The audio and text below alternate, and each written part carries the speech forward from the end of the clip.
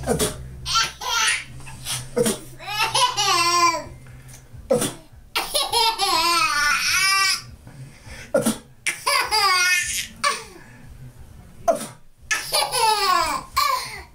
is a funny Valentine game.